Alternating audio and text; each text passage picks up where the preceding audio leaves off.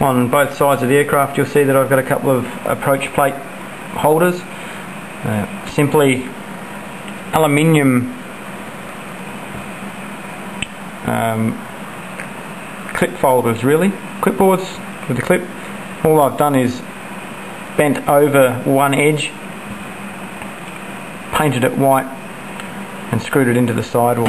So it's fairly rigid and um, works well. And there's one on the other side. These ones are obviously a little bit bigger than um, they have in the real 767, um, but they work just as well.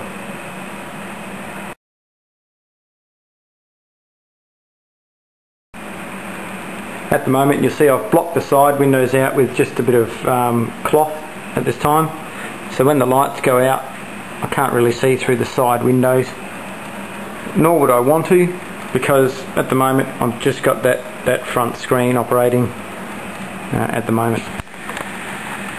The um, Eventually I'm going to have three screens like if you've seen many flight sims on YouTube have them with three projectors and of course eventually have visuals out the side as well which really does immerse you into the entire uh, sim and when you're flying um, it can be quite easy to get what they call vertigo or um, spatial disorientation if you like because it, um, all you're looking at is outside visuals. At the moment I still have, I'm trying to counteract with these side curtains what we call room effect. Now if I quickly turn these lights out, come back into the sim and take a seat you'll see that um, looking out the front is purely visuals, which is great. Until you start to look over to the side, you'll see that the visuals end, and now I've got a plank of wood up here and something down there like a picture and a stand and a seat around the corner. And that's what we call room effect. When you're flying along, looking out your cockpit, the last thing you want to see is a pot plant over there or that picture or frame. You want that to be all visual. So hence the need to block out the side windows when you don't have anything there um, because you can't see anything out of there anyway until such a time as you get three projectors. That funny light that you can see here is the projector. Because I'm using rear projection at this time, you can't do anything about that. Um, you're going to get that sort of glow of the light. Some people have theirs up the top, doing exactly the same as what mine does, but it passes for the sun in their visuals a lot of the time during the day uh, and it's not that noticeable during the night because obviously the light is not as bright. So um, if anyone's wondering what that is that's the light of the projector.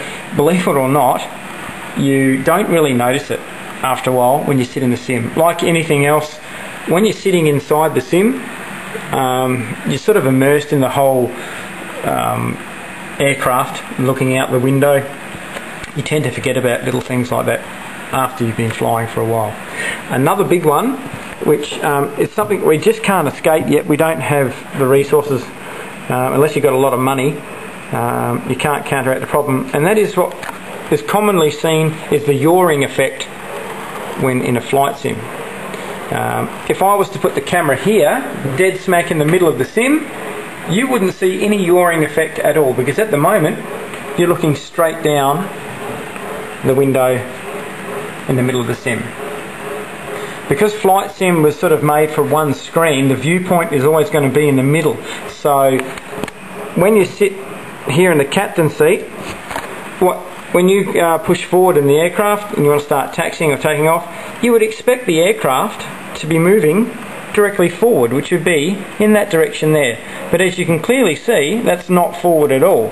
The, the view is stretched out to the middle of the screen, which is over this way. So in fact, instead of going in this direction, you're actually going to be going off in an angle in that direction there.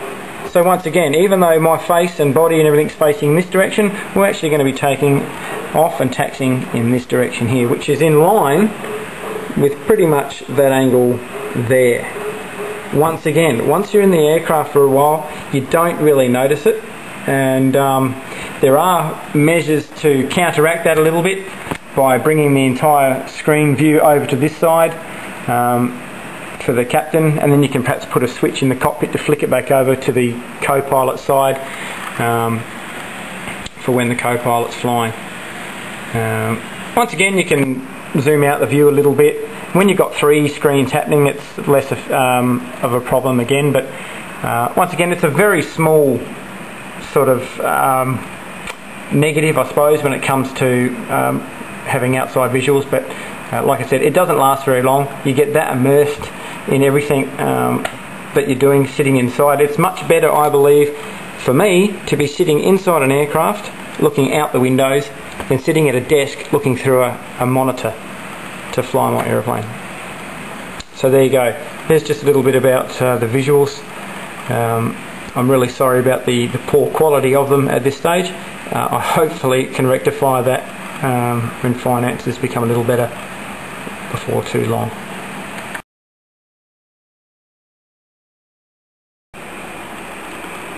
Sim seats. Fairly important part of the sim I think that you have good comfortable seats.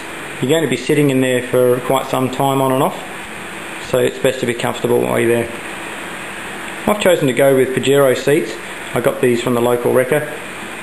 Fairly cheap, I think I paid 150 bucks for both of them and they're almost like brand new. The reason I chose these seats is because they're very high and um, underneath here there's a lot of mechanisms going on which enables the seat to come up and down as well as back and forth. Obviously they slide on rails. So uh, a bit more manoeuvrable than just a standard car seat. Um, unfortunately they don't go sideways. Uh, that would be great to allow manoeuvring in and out of the sim. As you'll see, unlike the real aircraft, the side wall of the real aircraft really does come out on a much wider angle. So you do have a lot more room in between the seat and the sidewall. Obviously the, um, the side pockets here are a lot wider as well. But due to the, uh, the room constraints that I had at the last place, I had to build the sim within um, the room that I have. So even though I've got a little bit more room now in this place, I've decided to keep it as it is. Still quite effective, just not 100% accurate, that's all. You also notice I've touched on before the base. I think putting your sim on a base is fairly important if uh, you want it to be manoeuvrable. I just had this entire section here straight onto the floor. There was no base. So for about 150 bucks, I think it was, I bought some pine, some um, pine flooring, and some wheels. And using the guide that I mentioned earlier as well, I measured out the exact measurements of the shell, did measured out uh, the wood, cut it out, bolted it all together, and also using screws, and then added six um, wheels, castering wheels, to underneath to be able to manoeuvre the sim wherever I wanted it. These wheels will easily carry over half a ton, so uh, plenty for what I need. So now the beauty about it is if I have to move house or something like that I can just push the sim out onto a flatbed truck or something with a, a, a um, hydraulic lift or something like that or manoeuvre it around the room with ease. So um, I strongly suggest putting your sim 2 on a base uh, for ease of movement. I just thought I'd quickly touch on sound at the moment down here you'll see that I've got real cheapo speakers. $39 something like that. Um, and it, it punches out pretty good sound. It's not too bad.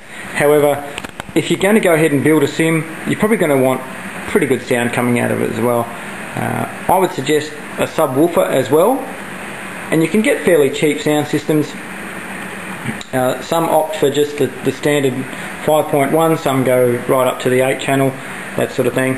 Um, for me, I'll probably just have a couple of speakers and under here, I think under the pedestal, or some people like to put it underneath their seat, have a subwoofer. Uh, the one that I'm planning on having, the subwoofer is actually facing down. So um, when I turn it up, it's actually going to be vibrating through the wood, through the floor. So when you power up and do other bits and pieces, you'll actually feel some vibration through the sim as well, which is um, much more realistic and uh, noticeable when you're flying. Um, there are other ways for your sound system, um, multi-channel stuff that you can have different speakers. You, some people will have sound coming from the front. They'll also have sound coming from uh, up here at the top. Maybe some cabin announcements and things like that will come from the ceiling. Uh, some like to have jet engine noises coming from behind, back this way, somewhere over here. Um, obviously because the engines are behind the pilots, not in front. So uh, what you do with your sound's up to you. Just make sure it's decent quality sound. Um, that will greatly improve your sim experience.